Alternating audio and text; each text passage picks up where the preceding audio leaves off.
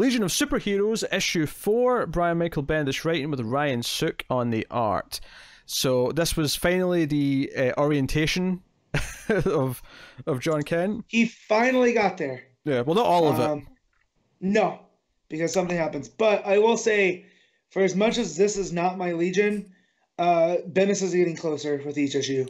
So the fact that we get to see the origins of, well, not exactly the origins, but the backstories of each of the founding members. hmm And Well, so to even even before we get to that, the first page does a good job of explaining uh, Triplicate Girl, right? Because I don't know these Mhm. things, right? And it explains Triplicate Girl is one person. It's not three people that Mm-hmm. merge together. It's one person who splits in three. There's a difference, right? and it makes that very clear. And I'm like, okay, I understand these. and th- they go and, and in their culture right so each one of them they're part of the same thing right so they can go out like multiple man go learn things and then when they reabsorb back into one that one figure understands everything yeah. you know what i mean So which is a real cool thing but then she drops a bombshell here that she wants to marry Um, Jon Kent. yeah yeah. Uh, so, i so- like that Uh, that was fun, but no, it's it clearly explained, and because they're very distinctive here, you got the three, you know, characters who's, you know, one's got pink hair, one's got blue hair, one's got yellow hair. Uh, Mhm. Like I'm always going to remember that basic rule. I think, even if I forget, you know, the planet they're from, if I forget some of these other details in time, Mhm. I'll remember that basic rule of them, and that, that that's kind of a hook for them. And then I think the flashbacks, you know, when it goes into the orientation, and it's like, okay, so here's how Saturn Girl joined, or you know, ended up fi- founding the Legion. Uh, it just enough to tell me, you know, what it was like with her talking to her mother, what it's like for her on Titan, and here's you know her getting the news that she's been you know brought in to you know talk to the, the you know the, the president, Madame President of Yep. of the United Which Planets. that that RJ Brand traditionally looked like a human, but ended up being a Durlan. Mm. So the fact that Bendis is going so different here, I mean, RJ Brand could still be a Durlan for all we know, but this is not what it's looking like so far. And I Um, will say, I love that the art on this uh, flashback here is so different. Mhm. The coloring's so different from the rest of the book. It really Yeah. feels otherworldly. Uh, the Saturn Yep. stuff, this or the Titan stuff, I So- should say. Yeah, and the fact that like they're they're part of a a collective in the mind, and Imra basically like like most teenagers wants to get away from that hometown, and they're kind of like, well, why do you want to leave the hive mind? Well, I, I want to be individual. It's like, well, no, you're that's just teenage rebellion, you know, and and that's the the primary motivation for her to to leave. Um, and then we get to uh, to Garth and his sister, which I'm glad that they did because traditionally the people of Winath are born as twins. So that's why when it said mo- his mom's, I, I want a little bit more on that because is that still a thing? Mm. Because there's there's six kids in that family, Uh, just and don't think I didn't partner them up. Um, Just uh, one thing before to start talking about that specifically. It's just what they are Yeah. on the uh, the Imra stuff. I th- I thought yeah. that, uh, the, the, her, her face on the last page of that almost looked very Sejic to me. The the way it Hmm. was drawn, uh, not quite, but almost there. I just you know I wanted Yeah. to mention that. Uh, but yeah, No, so it gives you yeah the, uh, you know Lightning Lad and his sister and.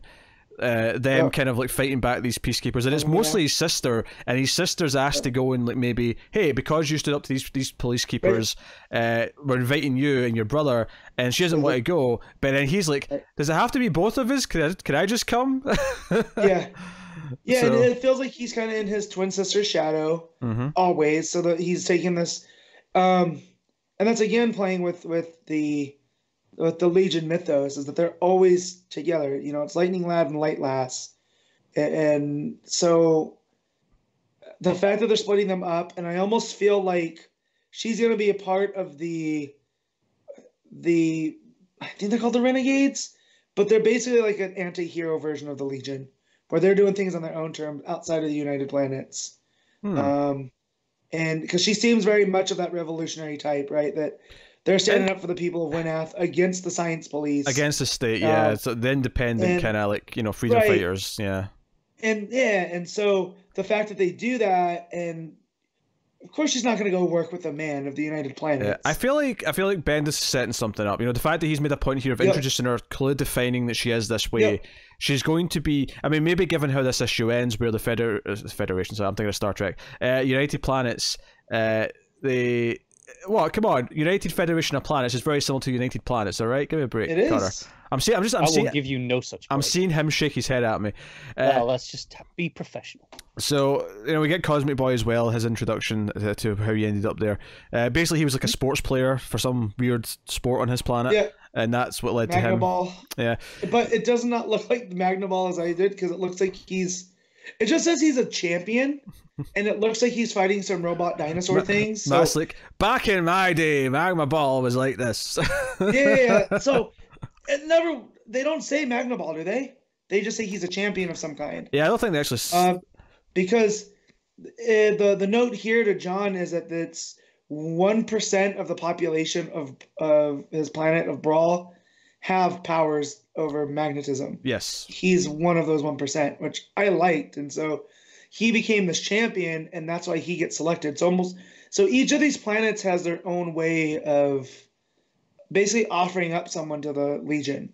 Yeah. Like, this is like you know Imra goes because she feels like she wants to be different, and then Garth wants to get out of his sister's shadow, and he basically rose. You know, uh, Cosmic Boy. I'm, I'm blanking on his his first name. Rokk. Rokk ends Yeah. up going through. Do you, You know, do you know what works about this issue so well? So this is the issue that I've been kind of wanting since this book started. Was an Mhm. issue that kind of clearly defines who some of these characters are, so that I've got Yep. hooks and uh, you know some of the main cast, and it has R.J. Brand come in, and her demeanor with these characters is very interesting because she, like, you know, at one point Imra's like, "I can't read your mind. Should should I be trying to?" And she's like, "No, there's there's natural blocks in place because of you know you know."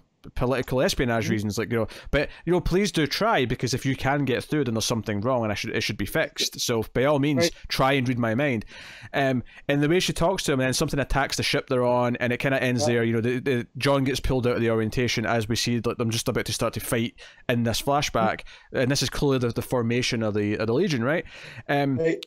And we have you know Brainiac say okay the pe- you know peacekeepers are here and they're basically saying okay uh, the Legion are, are locked down until further notice and this comes from Madame President R.J. Brand and what's really good about this issue is that showing us in that flashback how she is with them and how she's very receptive to their new style of them Right. being these new kind of the uh, you know the the modern take and a new type of peacekeeping that maybe hasn't been tried before. That's why she wants to try this new thing with them, and she's very receptive to how they are and what their feelings, and she's very nice to them. The way she says, "Hey, Saturn girl, yeah, try and read my mind, go for it."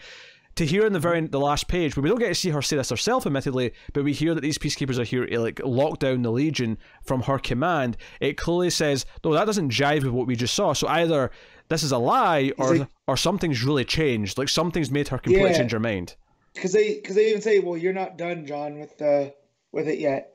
Yeah. So you'll get there. And so I also want to point out that the that computer, so it's almost like this Cerebro meets the Danger Room scenario where it puts Jon in their memories. Uh, is traditionally a villain. That's a Mm. that that's almost like Ultron, where he's this AI that comes to life. So I'm wondering if that is up the, you know, way with Mhm. with Bendis. So I, I thought that was pretty interesting. But yeah, um, I'm loving this this this book. I oh, course, yeah. I had a big stupid grin on my face because finally this feels like familiar Legion, and I get why Bendis would would want to shake it up at the beginning and make you wait four issues to get to this type of stuff. Because every other Legion book has has started with the formation of, you know, the three saving R.J. Brand and then becoming the Charter out of out of the United Planets. So here I'm I'm betting that's what happens, but Brand doesn't. If I had to guess, Brand doesn't like how powerful, or it's a different brand, right? Like someone swapped him out, or something happened. So, but yeah, uh, the Janet art for the for the flashbacks, basically, Mhm. right, is fantastic. Um, Sook art's still still solid for for the main Yeah, still whatever's really good. going on with the Legion. Um, Yeah. But as someone who needed this kind of like footing, this this grounded sort of like, okay, here's a basic understanding of the main characters in the Legion. This was easily the best issue so far. It didn't feel overstuffed with other characters like yelling things at each other. Um, and it, it set up enough in these flashbacks that the final moment it had some weight to it where it's like hey Mm-hmm. why is why is you know RJ Brand doing this and you know and like you say there's that hint where Jon says wait but RJ Brand, Brand is in support of the. Legion and then one of them says oh you didn't finish the orientation did you as if you know okay so there's there Yeah. is more to the story like something else flipped her by the end of the story so that's really interesting. I think it tells a story. It introduces a lot of things. This could be a great first issue. It honestly could be. Um, Yeah. and I don't necessarily dislike the previous three issues, but I, I do think this is one that's it's done the best job of hooking me in. So, uh, Mhm. but good. And like you say, the art's uh, really good uh, throughout. So, uh, what are you giving this, Matt? Uh, I'm I'm giving this a nine. I stupidly ignored this issue. Whoa. I'm not ready Yeah. to go go that far. I, I will give this a solid eight out of ten. But uh, Yeah. yeah, I, I'm glad Matt's uh, having his his cake and eating it too.